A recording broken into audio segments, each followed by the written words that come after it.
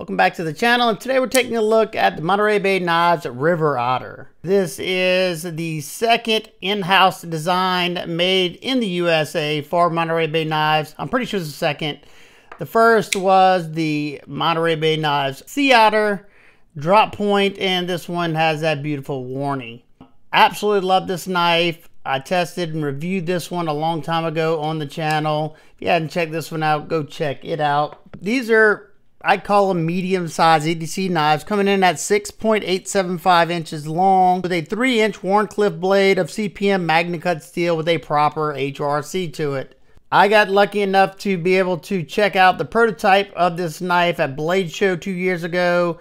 Ray Laconico had it in his pocket and he let me fondle around with it for a while.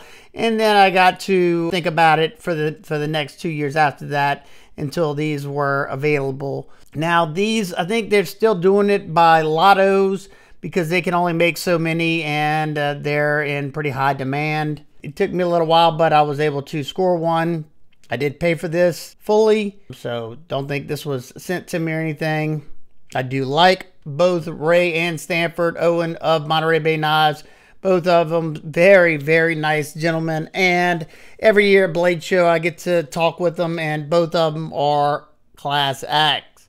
So because of that warny blade shape, it's going to be an excellent utility cutter. Easy to use that tip to do some fine, precise cutting. Or if you need to poke it into something, you can put your finger right there so you don't go further than your finger. Eh, there's a lot of utility uses this blade's good for. And this one's not a complete straight edge. It has an ever so slight belly there. I love the look of it. Love that little top swedge. And they come with this blasted stone wash finish. Gives it that aged look. I like the look of it. And being that this is MagnaCut, I'm not worried about it corroding because MagnaCut's a highly corrosion resistant steel. And when done properly, it is a phenomenal steel. You do have jimping up top as you can see and it, it definitely grips that thumb nicely. But if I want to overshoot it, I can. Choke back right here. It's right where you want it to be. But if you choke up, if you choke up to the front portion of that those scales then you overshoot it which i mean it didn't bother me either way throughout all the stuff i cut now, my knife did come, whenever I got it out of box, it did come with a burr on one side. It had just a very fine burr that didn't get completely knocked off. And I know they were rushing to get these out. So it, to me, it wasn't a big deal. You know, if you don't know how to strop a knife, then it may be a big deal to you. But literally, I, I think I did uh, 10 passes on that side. I went I went five back and forth, and then I did a few just on that side to fatigue it, and it popped off rather quickly, so it wasn't the biggest deal. Then right after I finished stropping it, it was super, super sharp. Of course, that almost straight edge is going to be excellent at cardboard slicing because you're getting full power from heel to tip on there you know, staying in that cut the entire way. And then once I got done with the cardboard, went to the wood just to test the ergos. But I already knew this this handle is pretty darn comfortable because I tested the Sea Otter and it's a pretty neutral handle. You have two flat slabs of tie, just a small choil up there. For my medium-sized hands, they fit great. Now this is not the the clip that comes on it's just a bent titanium, it's a bent spring titanium clip and I put one of their milled tie clips on it. They off they sell on their site different types of clips. Like you can get a Timascus one, like this one that I need to redo. I think they got zirconium right now available on the site. Sometimes they just have the plain tie ones like this. They have the slotted, non-slotted. So they definitely have some options there. So yeah, I, I thought it performed pretty good. Now, when I got to the sisal rope, I did lift it up on a on a small block so I could get more of that cutting edge onto what I was cutting, and it did great. Now, I will say, I, I do wish this was like a deep hollow grind. It feels like a flat, I'm not sure. Uh, I know my Sea Otter has a, hollow, a nice deep hollow on it, so I'm not sure I, I can feel the deep hollow on this one. This one is either a very shallow hollow or a flat grind. Okay, I just put a ruler on it and it looks to be a flat grind. Like I said, unless it's a very, very minute hollow, it seems to be a flat grind. And I think it would have been excellent, excellent if they would have had a deep hollow like my Sea Otter does. Just because it's it's going to thicken up with every sharpening. This one is going to take a little while to start thickening up and it slices really, really good. With such a sharp grind height, it's going to get thick rather quickly. The behind the edge thickness is about 21 thousandths behind the, behind the thinnest portion of that edge, which is not terrible. But like I said, it's gonna thicken up rather quickly because of the flat grind. But for me, you know, I still enjoy the knife. I have, I'm a knife reviewer, so I have tons of knives to rotate through. So this might get carried, you know, a few times during the month. Or it might not get carried at all. It just depends on what's in the rotation that week. So uh, it's going to be perfectly fine for me. Overall, I love the simplistic design. Ray Laconico design has he's probably one of my favorite makers, if not my favorite designer. And pretty much everything that he and Stanford design, I love. And this one's been doing it for me for two years before it came out. Now let's discuss the deployment and action of this knife. You have dual titanium thumb studs on this that give you perfect amount of traction there without being uncomfortable. And it flicks out just nice. It's riding on, I think, brass bushings. And I, have to say, uh, I noticed it quickly with this one it breaks in so nicely and they get ridiculously smooth. I mean this one is very very smooth. It's not a free drop or anything but it's that nice hydraulic smooth. It's uh, both of these are a little bit smoother than my Sebenzas. Now i'm not sure why they they went with brass over phosphor bronze. It's not something you see a whole lot but I haven't noticed any kind of huge difference. I know phosphor bronze is self-lubricating because the more it burnishes itself, the smoother it gets, the slicker it's going to get. But I think the same happens with the brass because you can polish brass up to a mirror polish as well.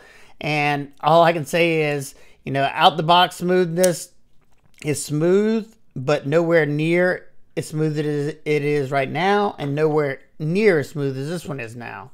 This one's been carried and used a bunch and it's super, super smooth. But if you're if you're a bearing guy and you, you got to have your knives free drop on you, then this one's definitely not for you. But if you like a nice controlled, silky smooth action, then this one might be for you. I absolutely love the action on it, and especially you knowing it's just going to continue to get smoother. All right, let's take a look at the handle area. You have a dark blasted stone washed titanium frame, flat frame knife with uh, nice chamfering going around, no sharp spots because whenever they did the stone washing, it burnished all those edges so you don't have any hard angles anywhere that dig into the, your hand. And uh, like I said in the video, and like I said earlier, the ergos are really good because you have, you know, just a neutral broomstick style handle, nothing poking or prodding me at least. Now your pivot is a Torx T8. Unfortunately, they went with Torx T6 for the body screws. I wish they would have went with T8 at least throughout, if not bigger, but is it end of the world? No. And I've taken apart this one. I've taken apart this one multiple times and I haven't had any issues there. And I'm sure if you strip something out, I'm sure they, they could rectify that for you. You got two standoffs back here. Those are titanium standoffs, so if you'd want to anodize them certain color, you could, along with the frame. Your thumb studs, you could put a pop of color on there. I like the monochrome look. I think it just looks rustic and mean. Uh, yeah, flow-through construction. There is no internal milling. However, this thing, in my opinion, is perfect weight. It's coming in at 3.1 ounces and it's got a three inch blade so it's just right over that ounce and inch that some people actually care about. I don't really care about that. I find it to be really really easy to carry. It this one hugs the pocket nicely. You don't have any flipper tab getting in the way of anything in your pocket. It's a little bit wider than the sea otter as you can see because of the the blade shape but not that bad Let's take a look at the lockup. Mine's sitting, I'd say, at around 40% or so. You could actually see the MagnaCut stamp right there. And I can't really tell in there, and I forgot to look. There's no hardened stainless steel lock insert, but I don't think it's needed. I've had my other one for a, a long time now, and it's done the same way. I'm guessing they either carburize it, where they're heat treating the, the uh, titanium like Chris Reeve does, or they're carbonizing the top. I, I don't remember what they do, um, but it, like I said, super tight lockup. Mine has no movement whatsoever, and it hasn't moved a bit since I got it. And My other one is exact same way, and it hasn't moved a bit since I got it. So, uh, obviously, Ray Laconico knows how to set lock geometry properly, and if that's done right, you shouldn't have any problems anyway. But um, I'm sure they're either carburizing or carbonizing that lock face. I knew I had to mention that because you're going to have some of them keyboard warriors. Oh my god, I can't believe in this day and age there's no lock bar insert. Ugh, I'll never buy that knife. Well, that's fine. Don't buy it. Nobody's telling you you have to. I'm just I'm just here to tell you, like I said, I have had this one for I forgot how many years now, and I've opened and closed it a million times, not a million, but I've opened and closed it a whole bunch. I've used it a good bit. I've tested it on the review of it, and that lockup has not changed, and there's no problems with the lockup. So I guess uh, the ones that just don't understand don't understand. That's fine. But I'm good with it because I know it's not a problem, and if it would be, this is made in the U.S. I can guarantee you I could DM Stanford Owen and he would take care of it pronto. And that goes for anybody, not just me because I'm a reviewer. Now for some quick size comparisons, we have the Tactile Rockwall and we have the Chris Reeve Sebenza 31 in Insingo and it's a little bit shorter than both of these except it's just a little bit shorter than the Spyderco Para 3 and just a hair shorter than the Hogue Mini RSK. Here it is next to Ontario Rat 1 and 2. And lastly, next to two of its brethren, we have the Monterey Bay Knives Mini Old Guard Wharncliffe.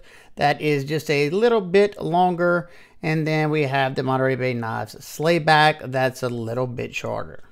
Nitpicks, complaints, I have, these are just kind of minor, depending on, you know, how you feel about them. But this is, for me, I think they're minor. First, I would have loved to see this, a deep hollow grind, make it a lot slicier. Definitely would have liked to see this sharpening choil extended a little bit more, even though it looks like it's it's coming out enough.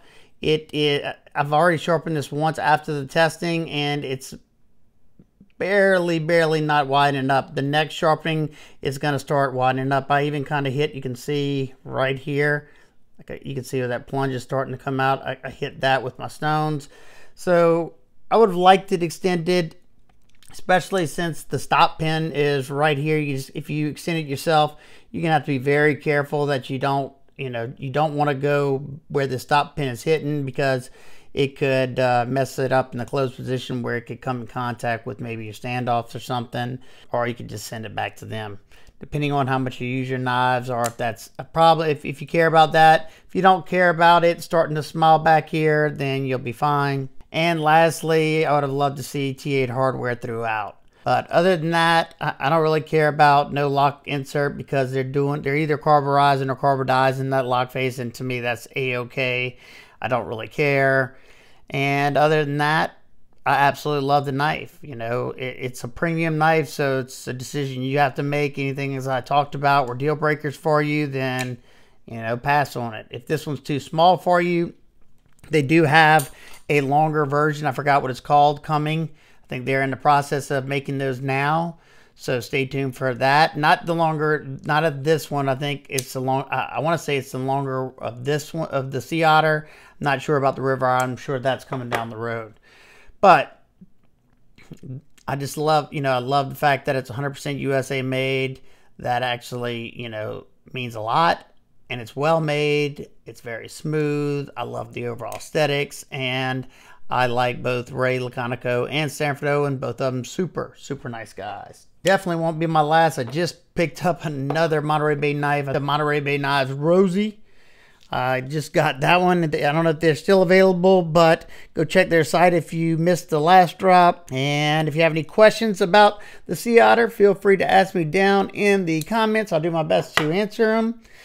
And I hope everybody's having an absolute amazing day. I will see y'all on the next one please.